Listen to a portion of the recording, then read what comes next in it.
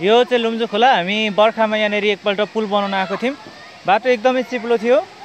त्यतिखेर चाहिँ मैले लगभग त्यसको भिडियो पनि हालेको छु युट्युबमा। तपाईँहरूले यसो तलतिर गएर हेर्न सक्नुहुन्छ।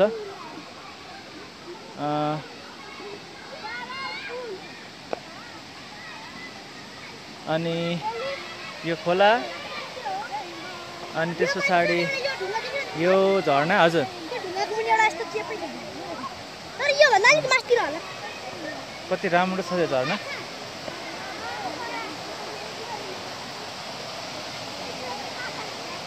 यो चाहिँ झरना। है? अनि हिँड्नु हिँड्नु बिस्तारै। यहाँ चाहिँ चिप्ले किरा सङ्खे किराहरू पनि पाइन्छ है? यतापट्टि।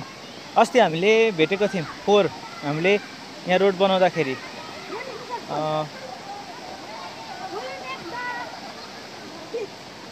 हामीले त्यस्तो भेट्यौँ। अनि भेट्दै गर्दाखेरि चाहिँ सजिलो बाटो हिँड्नु सजिलो बाटो।